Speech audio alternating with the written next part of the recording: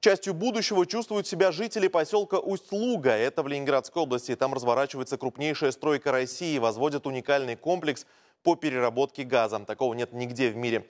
Впервые на одной площадке будет идти полный цикл производства. Необработанное сырье будут превращать в том числе и в полимеры. Масштабы проекта оценил Кирилл Сергеев.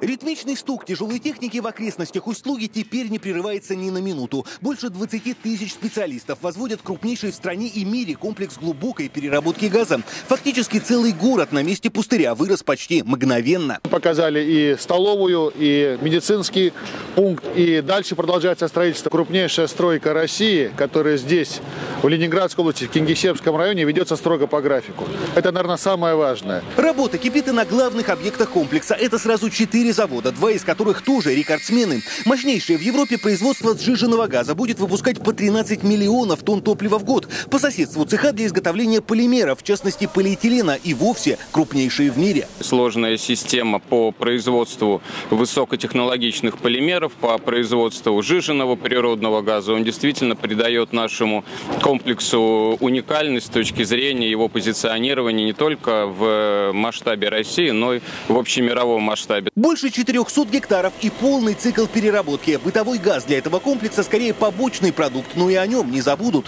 Отсюда голубое топливо с тамбейских месторождений Ямала отправится на внутренний рынок и экспорт, а само производство начнет работать еще и как логистический пункт. Это высокотехнологичные, современные рабочие места. 5000 человек, которые потом придут сюда работать, это действительно работники высокой квалификации. Это очень приличные налоги. Я пока так скромно говорю, приличные налоги в местный бюджет, областной бюджет и, конечно, бюджет Российской Федерации. Вместе с рабочими местами в регион придет и современная инфраструктура. Для сотрудников уже готовится выстроить новый микрорайон с детскими садами и школами. Но это дело будущего. Пока проявлять заботу приходится о тех, кто уже живет неподалеку. Мы открываем горячую линию, чтобы местные жители совместно с нами могли фиксировать все нарушения, стоящие на обочине грузовики, грузовики, которые люди паркуют, водители э, в населенных пунктах, все нарушения, передавать на эту горячую линию. Мы совместно с администрацией и правоохранительными органами будем пресекать. Впрочем, это скорее временные неудобства. Начать работу комплекс должен уже в 2024-м.